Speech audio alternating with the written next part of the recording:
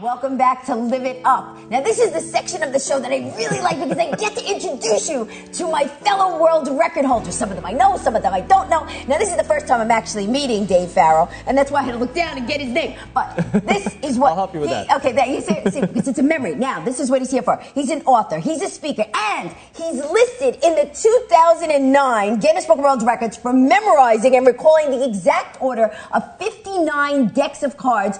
The first time seeing it out. How many cards is that? I don't even know. 3,068 cards. 3,068 cards. That's a lot of cards. Okay, so now he's here and he does television, he does radio, he's got a CD set out. We're going to be talking about all that. And uh, But first of all, now I understand that at one point in life, it was not so easy for you to memorize. No, absolutely. Yeah, I was in high school, uh, going into grade nine, you know, 16 years old, and I literally had a teacher pull me aside and say, "Why are you trying so hard? You're not going to go to college. You're not going to go to university." Nice. It, it was it was that idea that you're hardwired with a certain level of memory, and I actually had uh, ADHD and dyslexia. These are real things. I still, you know, Wow. I still have to overcome them, but uh, like I still deal with them regularly. But there are techniques that you can use to overcome these issues. And when it comes to memory, it's 100% a skill. It is not something you're born with. It's not something you can expect to, to, to naturally be good So at. you could just change it. You're saying can teach you yourself how to. Uh, you have a bad memory, you could get a good memory. Anybody listening right now, anybody watching, can have a better memory than me. All I ask is you don't break my record, okay? Because it took a That's lot. good, 'cause I don't want people that. breaking my record. right, exactly, I know. That's, that's So my caveat. We'll have a If we deal make here. this deal, we make this deal. Right. Now, now this is the thing. So, and,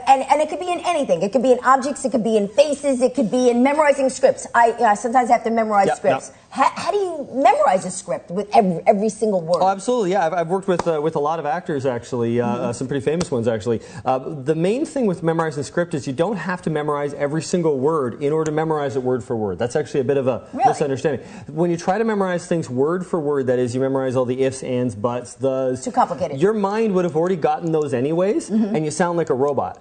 So what we do with memory experts is we pick out the keywords, and as you get better at this, you'll find that you can do less and less keywords, and a keyword is a word that reminds you of the whole sentence. And then we link those keywords together, just like we're going to do a little demonstration here, and you can go through like pages and pages of scripts and know it right off the top of your head, as if there's somebody right beside you. now, okay, so you could uh, you, you have, could show us a demonstration. yeah, yeah, we're actually going to triple your memory right here and now. This is a standard test for is memory. what he If- says. If, you have to, no, seriously, if you have to, uh, to to take a health insurance policy, uh, oftentimes they'll give you this test. If you have to apply for certain government jobs, they'll give you this test. The test is uh, the, the, Now I feel the- pressure. well, now I the- feel like I can't pass a government Yo, you job could, if I don't you'll do great. these You'll do great. Okay. So here's the, the test. Basically, is a doctor would say a list of ten things, for example, then say, okay, how many do you recall of those? Most people would score about five. I'm going to show you the secret is how you can get all of them, and you could do 15, 20, 100. We do them every single day. So Okay. we got we got ten objects here on the table, All right. and uh, in order to memorize something, you have to go in order. So the order we're going to start with is this uh, Kleenex box, and the next item is a cell phone. The what would go on in my head is I would imagine that I have an amazing cell phone that I can get Kleenexes from anytime I want, and that sort of you know silly invention. Okay, so it's would- coming out of there. It's coming right, of right. there. Okay. and, and that would stick in my mind, and thus it would link these two things together. We need, we need to do more though. Kleenexes. Cell phone and flower. Imagine somebody uh, sends flowers to your house and they're ringing. They're like electronic flowers, and they've, they've got the little. it- flowers are basically a, You a people at home, help me You out here. to. You go, hello. Okay. Hello, you know, it's like it's like a, a phone is your is your flowers, and uh, then we have this little uh, this little doodad It. thing here, the it. So imagine somebody took this it and put it around the flowers. When it came when it came over to your house, they had a whole bunch of these around every single flower, and you're like, what is this thing? It's like this taking up so much "It's- space. that's what it is. So it gets you so it is." frustrated, you throw it at this mirror and smash it into a million pieces. So you just got seven years bad luck because of it. Okay.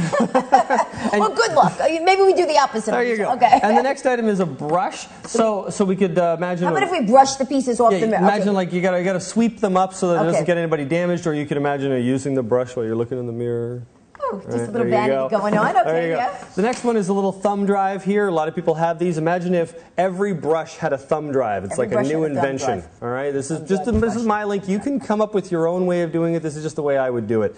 So every every brush has a thumb drive in it. Uh, the next one is a banana. Well, if you have to hide your important information, put a, put it inside a banana, and then you'll never you'll never uh, forget it. Uh, you got a knife. Imagine cutting open a banana with a knife. That'd be the silliest thing in the world. And finally, my millionaire memory program. Program, a six CD program. Packaging is so tough nowadays. You got to use a knife to open it up. And just by picturing all those things, I think you'll do really well. And how well do you think you'll you, you do this? I don't here? know. Well, let's see. All right. So All I right. know without So looking. close your eyes. Close your eyes. Oh, close your eyes. Why? Close I can't. eyes. I no peripheral. All right. All right. Here we go. The first All right. item is what? Okay. So we have the tissue box and the cell phone And and, follow the flower. Yep. The tissue box, the cell phone, the flower, the it.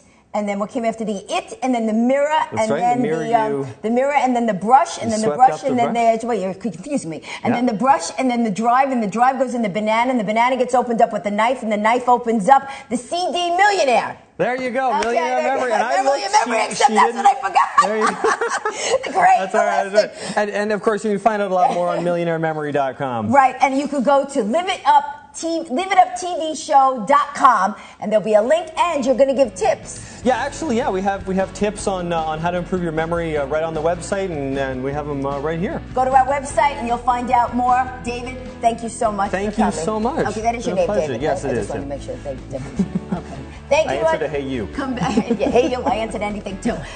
Come back. Donna Drake up next.